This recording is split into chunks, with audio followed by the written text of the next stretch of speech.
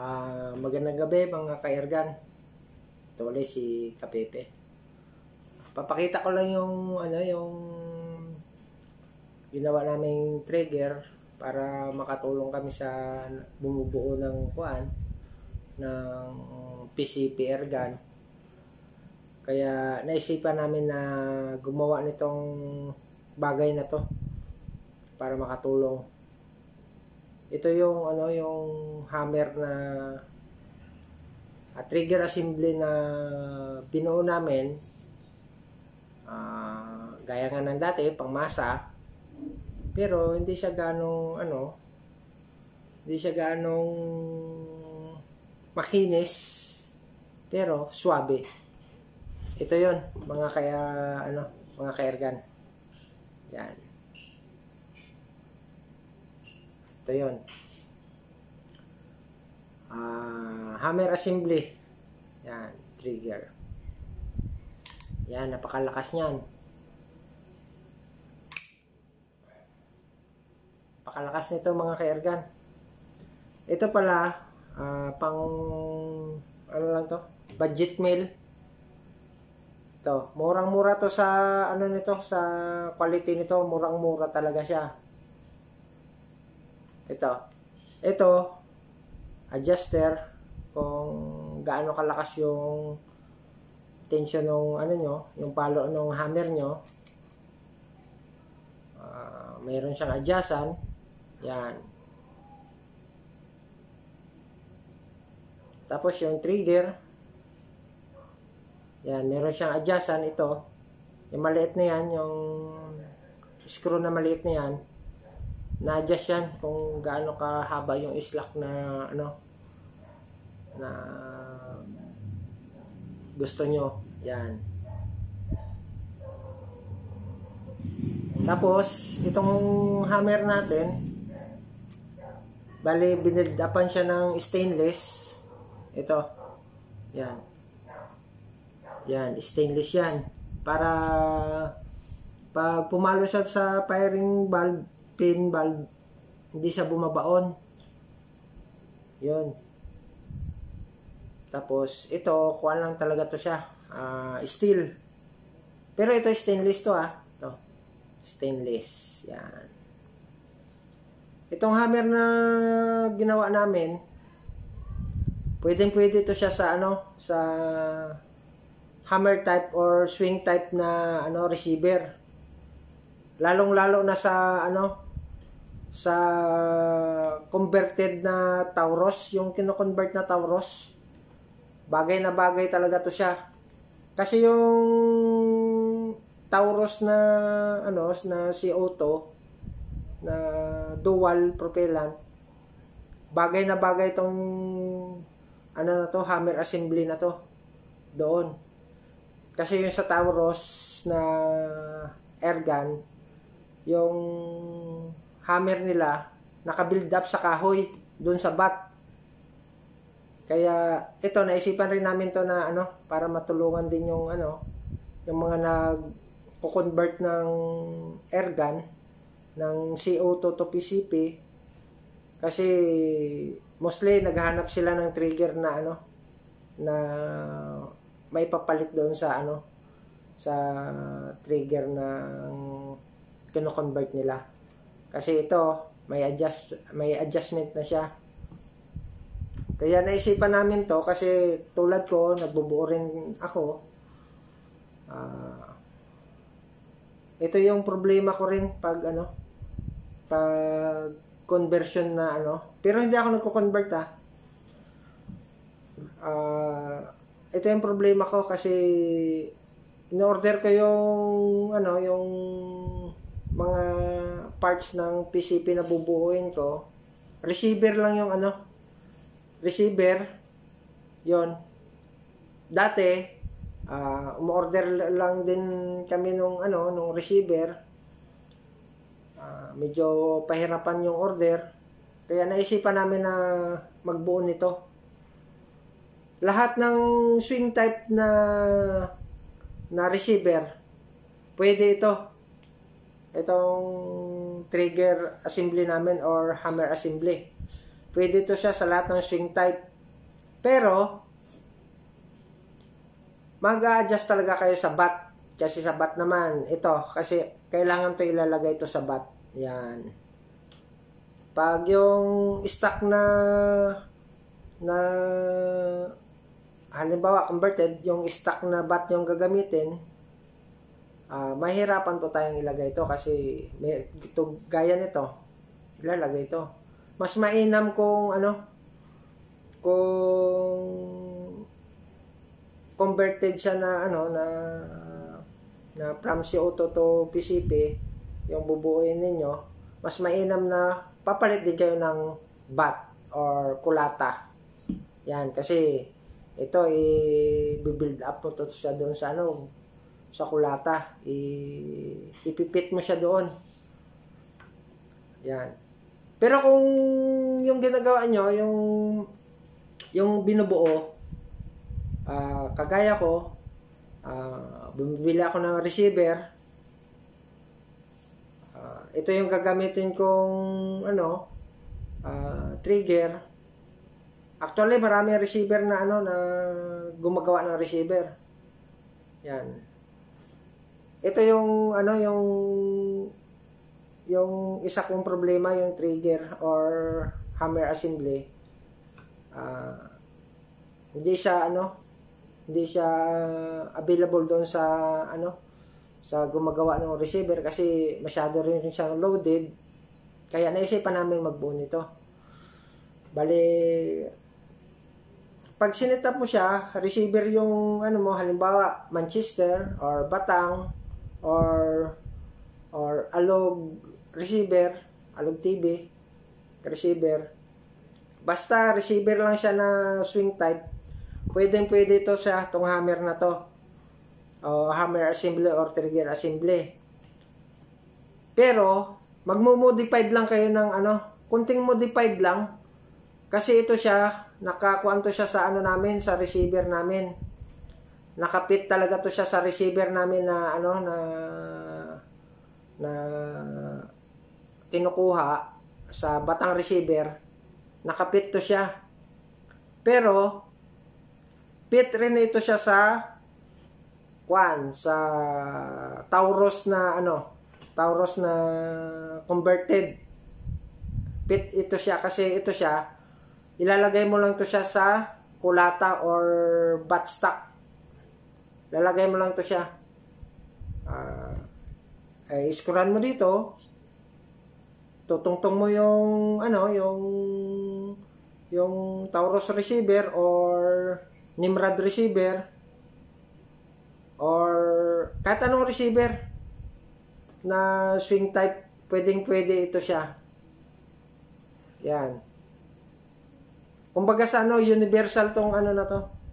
Tong trigger na to. Or ano, trigger assembly or hammer assembly. Yan, universal siya. Uh, kung ano, kung kailangan ninyo to, siyempre, si Kapepe, eh, kontakin lang ninyo sa messenger si Kapepe or ako, Kapepe. Yan. Murang-mura to sa ano nito, sa quality nito. Murang-mura sa quality. Hindi namin to tinatapat doon sa ano, sa mga mga CNC made. Yung sa akin, yung yung gusto ko dito, makabuo kayo ng medyo makatipid. Pero sa quality, halos magkapareho lang. Yan, yung CNC or kaya yung mga gawa sa ano, sa milling machine na ano, mga gawa, mga trigger assembly or hammer assembly. Yan. Medyo malayo siya kasi ito steel lang to. Pero yung presyo pangmasa. Yan. Yung quality pantapat sa CNC or sa ano sa sa gawa sa milling machine. Kita nyo naman. O, papakita ko. Merong adjuster. Yung trigger. Napakalambot. Ito pala tong hammer assembly pala na to or trigger assembly. Nasubukan namin to. Ito siya, ito ang gamit uh, umaabot siya ng ano ng 1000 plus FPS. Ito. Ito yung gamit. Yung airgun, ito yung naka ano, naka-symbol. Umaabot siya ng 1000 FPS yung lakas niya, yung palo niya. Samantalang yung iba diyan na ano, na hammer, hindi ko naman nila lahat. Yung iba, kadalasan kasi nasa ano lang, pinakamataas nila nasa uh, 900 plus or 800. Uh, pero kadalasan talaga sa ibang hammer assembly, nasa 800 plus lang yung ano lang, yung kaya ng palo nila ng ano nila ng trigger, nung lakas nung nung ano ng FPS yung pag pag pinalo siya ng hammer, yung putok nung airgun, nasa 800 plus lang yung iba. Pero ito, umabot ito ng 1,000 plus FPS. FPS po yun ah. Tapos, pwede mo pa siyang i-adjust, pwede mo rin siyang pababaan. Yan. Yan, i-adjust mo siya. Fully adjustable na to sa lahat. Uh, black lang siya. Kaya steel. Yan, steel siya. Pero yung nakikita ninyo, mayroong ano dyan oh. Yan, stainless yan. Kasi pag ito, pag all metal lang siya, uh, bumabaon dito yung ano, yung pin bulb. Kaya naka-build up dito yung stainless. Napakagandang ano to, napakagandang napakagandang hammer ano assembly or trigger assembly. Napakaganda napakalambot. Napakalambot nito. At saka napakalakas. Fit siya sa batang receiver. Swing type. Ito talaga siya pero sa ibang ano ibang receiver, konting modified lang yung gagawin nyo. Sasakto to siya. Ito. Konting modified lang talaga ang gagawin. Yung iba, uh, nilalagay na to, wina one piece na siya doon sa receiver. Ilalagay siya, i-screw dito. Yung iba naman, uh, ipipit lang siya sa kulata or sa bat tapos, papatong dito yung, ano, yung receiver. Ano na siya? Uh, pasok na pasok na siya. Yan. Ito, naka-design to sa batang receiver. Kasi, shoutout sa'yo, Sir Onek. Yan. Pero, ano talaga siya? Uh, universal. Konting modified lang siya sa ano, sa ibang receiver na ano na gawa. Kunting modified lang siya. Ito, yan.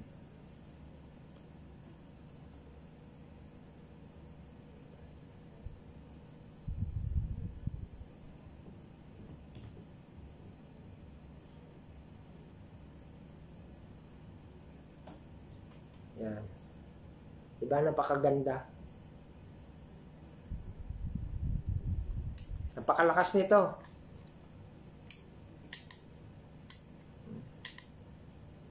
Mahirap i-kalabitin kung pan, walang ano. Baka mabali. Yan.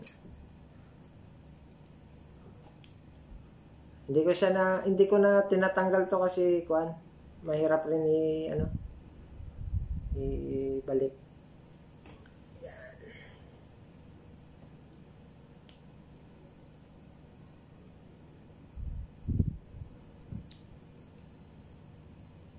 Universal Hammer swing type uh, receiver. Uh, hammer assembly. Yan, sana ano, makatulong kami sa inyo sa produktong to. Yan. Sa mga na, ano to, mga yung nagbubuo ng mga ano, ng mga airgun na kagaya ko. Malaking tulong to. Tong hammer na to. Kasi konting modified lang doon sa mga receiver ninyo na hammer type or swing type na receiver. Konting modified lang. Pasok tong ano na to, tong hammer assembly na to or trigger assembly. Yan. Tsaka ano to, pinakamababang ano to, pinakamababang presyo sa lahat ng ano hammer na ganito ang ano ang design maliban na lang kung ano kung kung yung iba baka makita nila to magpababa na rin sila ng presyo pero ang habol talaga namin dito makatulong hindi negosyo makatulong sa ano sa nagbubuo ng mga ano ng mga mga PCP airgun. Yan. Sana matulungan namin kayo. Yan. Ito siya. Uh, napakalambot nito. Napaka-smooth. Hindi ko lang siya makalabit kasi kuan ma ano ba? Ano, malakas to siya.